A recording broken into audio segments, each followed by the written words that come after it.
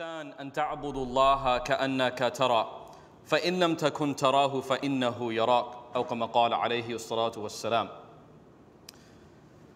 In our religion, one of the biggest misunderstandings is that Islam is all about what to do. What prayer should we pray? What days should we fast?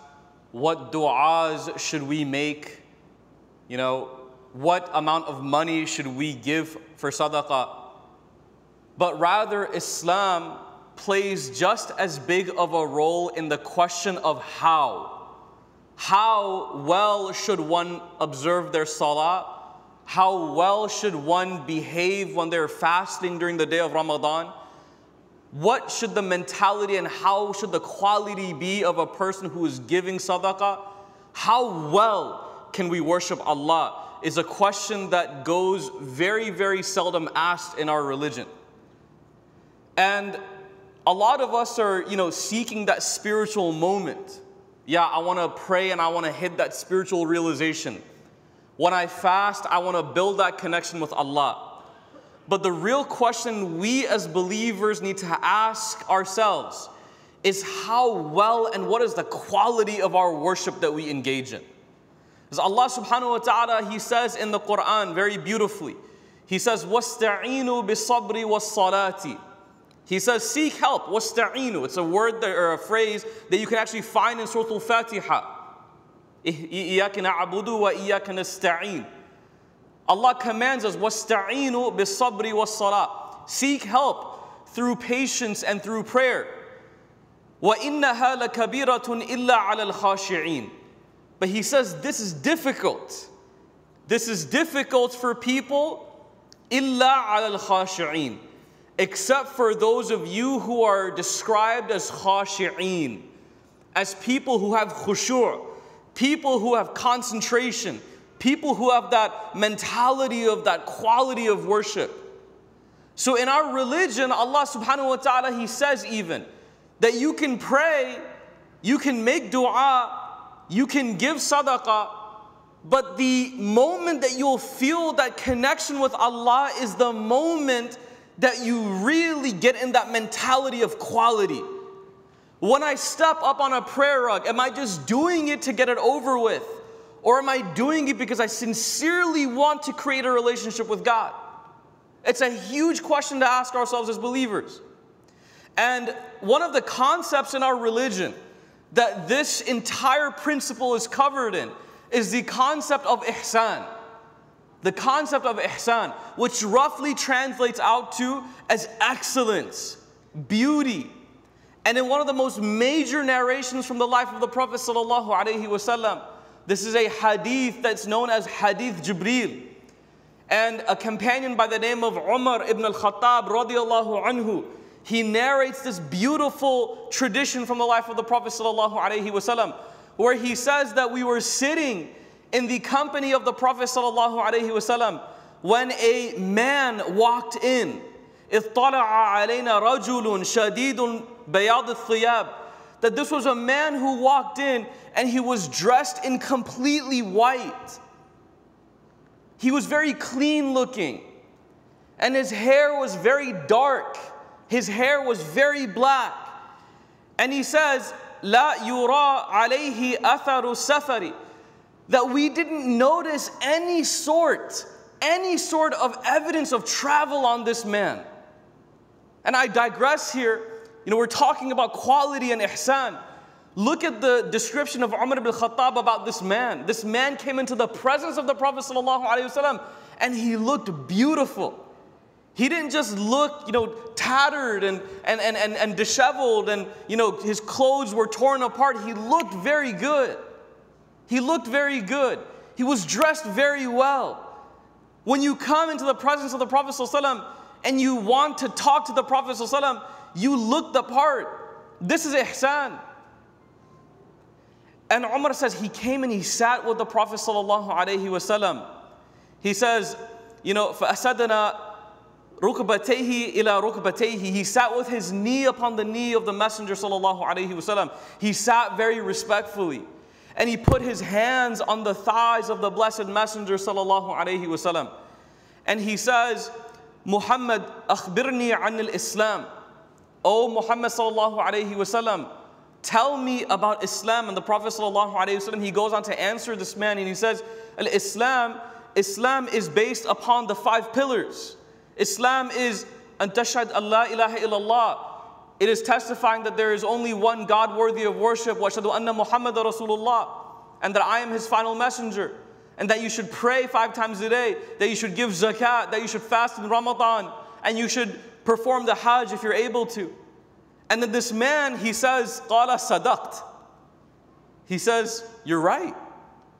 And Umar ibn Khattab was astounded, absolutely astounded. He actually says in the narration, he says, فَعَجِبْنَا lahu. He says, we were, we were shocked. We were, we, were, we were kind of perplexed. فَعَجِبْنَا lahu. He said, We were confused. Yas'aluhu wa yusaddiquhu. We were, we were shocked that the one who was asking was then confirming the truth of the answer. This has never happened before. Usually, when you ask somebody a question, they give you the answer and you say, Oh, really? Okay, I'm learning. This man says, Sadaqt, you're right. So he knew the answer to this question. And so then he continues to ask the Prophet, he says, فَأَخْبِرْنِي عَنِ الْإِيمَانِ he says, Tell me about Iman. And the Prophet ﷺ, he says, أن تؤمنوا بالله وملائكته وكتبه ورسله واليوم الآخر وتؤمن بالقدر خيره وشره. He says, believe, Iman is believing in God, believing in the angels, believing in the books, believing in the messengers, belief on the final of the final day, and believing in qadr, in destiny, both in what you deem is good and what you deem is bad. And that this person says sadaqt, says you're right. And then finally, this man, he asks the Prophet he says, he says, فَأَخْبِرْنِي عَنِ الْإِحْسَانِ he says, tell me about ihsan. And this is where I want everyone to take something home today. The Prophet ﷺ, he defines ihsan.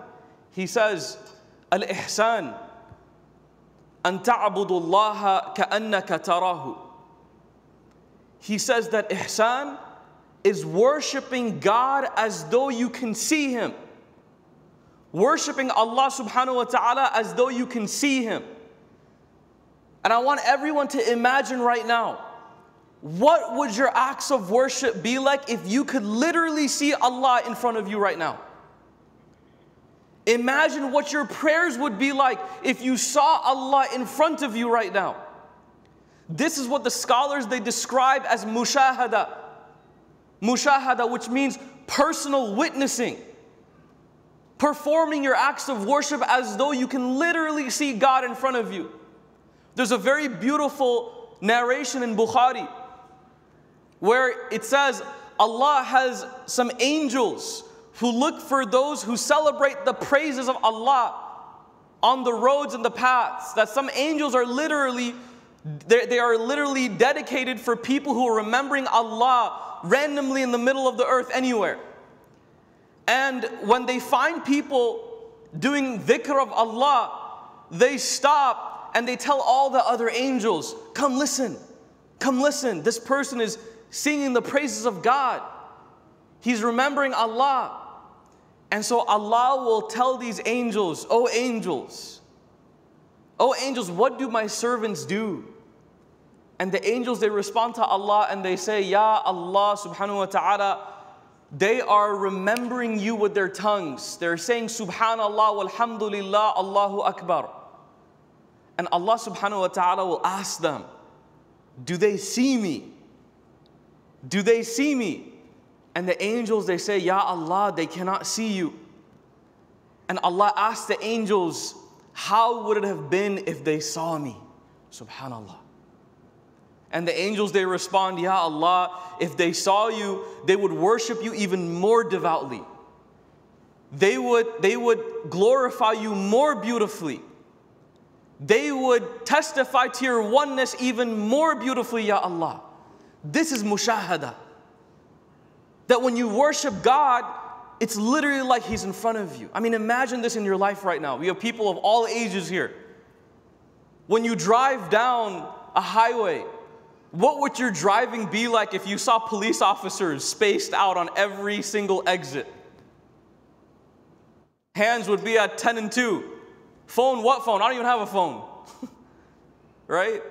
I'm gonna stop exactly where I'm, I'm gonna stop 75 feet before the stoplight, just as they taught me when I took my driving exam. Imagine a school. Look at you as a student. What do students behave like when their teachers are walking around the classroom as they take an exam? Everyone eyes on their own paper. Not one eye will dart across the room because they know that the teacher's in front of them.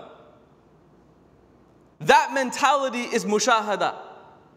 When I pray to Allah, I pray as though Allah is in front of me. When I fast in Ramadan, I fast as though Allah is in front of me. When I give sadaqah, I give sadaqah as though Allah is right there with me. And this is an example that the Prophet ﷺ perfected in his life. When he was on his journey to Medina with Abu Bakr as-Siddiq radiallahu an, and they were in this mountain called Jabal al-Thawr, and Abu Bakr was terrified that the Quraysh would find them in this cave. And he looks at Abu Bakr and he says, Ya Abu Bakr, what would you say if these two people, if the company of these two people, the third of which was Allah subhanahu wa ta'ala, and he says, Ya Abu Bakr, la tahzan, inna Allah ma'ana. Abu Bakr, don't be afraid. Inna Allah ma'ana. Allah is with us. Allah is here with us. That's the first step of ihsan. أن تعبد الله كأنك ترى as though you can see him. فإن لم تكن تراه فإنه يراك. The second level of ihsan is although you cannot see Allah, know فإنه يراك. Know that Allah can see you. This is the second level of ihsan. And the scholars, they call this level of ihsan muraqaba. The idea of knowing that Allah is watching you even though you cannot see Him. So even though you may not see the police officers yourself, what do you know? They're there. Especially if you pass through George Bush Turnpike. They're there somewhere. Even if your teacher steps out of the room, you know that the cameras are there. Even if you know that your boss is not right in front of you watching you work, you know that there's a sense of accountability. This is what's called muraqabah. And one of the most beautiful examples of this was from the life of Umar ibn al-Khattab radiallahu anhu. Umar ibn al-Khattab one time, he went on a journey. He was traveling. And Umar ibn al-Khattab was a companion of the Prophet sallallahu alaihi wasallam that really loved to test people in terms of their, their faith. You wanted to see what level of faith you had. Let's see what you're made of. You call yourself a Muslim, let's see. And so he was on this journey and he comes by a young boy, a young man, who was in charge of this flock of sheep. He was in charge of this flock of sheep. And Umar ibn al-Khattab, he goes up to this young man and he says, Ya ghulam, hey you, I want one of those sheep right there. And this young man, he looks at Umar ibn al-Khattab, he says, look, like I, I don't i'm not an, I don't, i'm not you know i'm not the owner of these animals. I can't sell them to you. I can't even sell you one. I don't own them. It's not my right. And umar ibn al-khattab he goes why don't you just tell your master that you know a wolf just ate one of them? No no harm no foul right? You get the money. Your master thinks that a she, that, that a wolf just ate one of his animals. So no no no harm done. Everyone's cool and you know what this young man, he told Umar ibn Khattab at that moment? He goes, Fa'in Allah. He goes, what about God? What about God? I can fool my master. I can fool a random person on the street. I can even fool myself to a certain extent. Fa'in Allah, Ya Umar. What about God? You can't fool Allah. And at that moment, Umar ibn Khattab radiallahu anh, he stopped in his tracks and began to weep. And the narration says that he, when he went back to Medina Medinatul Munawwara, he sent a letter to the master of this slave. And he paid him whatever it was to free this young boy. And the boy, he came to Medina to meet Umar ibn Khattab and he says, Ya Amir al-Mu'mineen, why did you, why did you free me? What, what, what happened? What did I do that gained this love from you? And Umar ibn Khattab, he said, those words that you spoke, what about Allah? Those words, they freed you in this life and may they free you in the hereafter. Allahu Akbar. This is ihsan. Your awareness of God is so great that whatever you do, you know that you're not alone.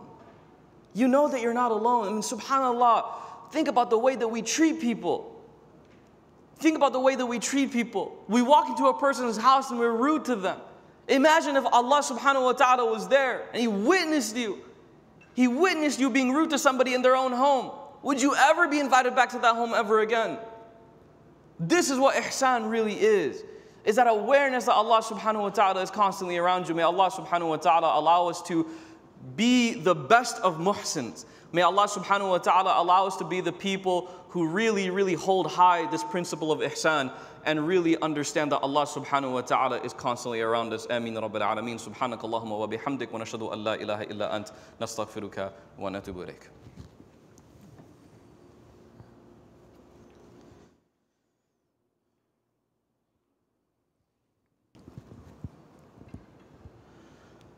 الحمد لله رب العالمين الصلاة والسلام على رسول الله وعلى آله وصحبه أجمعين just to finish the short reminder today, I wanted to leave everybody with a couple of tangible tips that we can take home with us to improve our level of ihsan. Number one, number one is to beautify our private deeds more than our public deeds. Beautify our private deeds more than our public deeds. As human beings, people who are constantly in the eye of other people, how well can you do certain deeds in private? When we're at Jum'ah prayer at Valley Ranch Islamic Center, you know, our Jum'ah may be beautiful because we're surrounded by hundreds of our brothers and sisters worshiping Allah together in congregation. But what about that Dhuhr Salah that you prayed at the office? What about that Maghrib Salah that we prayed in our room? Do we have that same level of beauty with those private deeds as we do when we're in public eyes, right? And Allah subhanahu wa ta'ala, He warns us about this. He says, you know, He, he, he says, فَوَيْلُ لِلْمُصَلِّينَ Woe to those who pray. الَّذِينَ هُمْ عَنْ صَلَاتِهِمْ سَاهُونَ Those who pray but are heedless of their prayers. الَّذِينَ هُمْ يُرَاءُونَ Those who do it because of the eye of other people. May Allah protect us and make our private deeds even more beautiful than our public deeds. That's number one. Number two is do things consistently do things consistently. When it comes to building a relationship with our faith, it's not a one hit wonder. A lot of us think, like, you know, if I give that big donation, you know, if I just go one day to Jummah, or if I do the best Ramadan ever, then I'll be good. You know what's not there? The rest of the 11 months out of the year, where Fajr, Dhuhr, Asr, Maghrib, Isha are still there. Consistency is the key when it comes to building this level of excellence in your deeds. That you know that no longer is prayer a burden upon you, but rather prayer is the coolness of your eyes. That worship around the clock is the coolness of your eyes. You know, you no longer are dreading praying at night. You're looking forward to it because that's the way that you end your day now. Subhanallah, may Allah allow us to reach that level of consistency. And the last thing, the last tip is ask Allah to purify your intentions. Ask Allah to purify your intentions because intentions are something that are constantly changing. And in Arabic, we believe in this word called iqrar. Iqrar means ongoing. Intentions are ongoing. It's something that needs to be consistently improved because intention can start somewhere in the beginning and be lost halfway through. And this is why intentions are so important to refine every single hour of the day. Why am I doing this? Let's clarify the beauty behind my deeds. Ask Allah subhanahu wa ta'ala to purify our intentions for us. We ask Allah subhanahu wa ta'ala to allow us to be the best of people when it comes to this religion. We ask Allah subhanahu wa ta'ala to allow us to worship Him in the highest of quality. We ask Allah subhanahu wa ta'ala to forgive us for any of our mistakes and shortcomings. We ask Allah subhanahu wa ta'ala to consistently forgive us and constantly forgive us for all of our mistakes and shortcomings. We ask Allah subhanahu wa ta'ala to bless our loved ones and our families. We ask Allah subhanahu wa ta'ala to consistently and constantly have love around us and give us His love and His rahmah. We ask Allah subhanahu wa ta'ala to allow us to be the best of believers, the best of muhsins, and the best of Muslims. Ameen Rabbil Alameen. ربنا آتنا في الدنيا حسنة وفي الآخرة حسنة وقنا عذاب النار. اللهم إنك عفو كريم تحب العفو فاعف عنا. اللهم إنك عفو كريم تحب العفو فاعف عنا. اللهم إنك عفو كريم تحب العفو فاعف عنا. اللهم صل على محمد وعلى آل محمد كما باركت على إبراهيم وعلى آل إبراهيم في العالمين إنك حميد مجيد. عباد الله إن الله يأمر بالعدل والإحسان وإيتاء ذي القربى وينهى عن الفحشاء والمنكر والبغي يعظكم لعلكم تذكرون. أقيموا الصلاة.